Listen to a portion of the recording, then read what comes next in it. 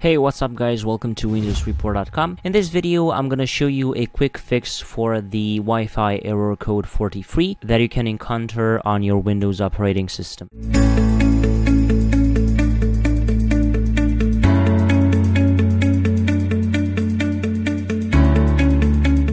The quickest solution for this problem is to update all your Wi-Fi and internet drivers. So for that, I'm going to show you a program called Driver Updater. You're going to have the download link for this program in the description down below.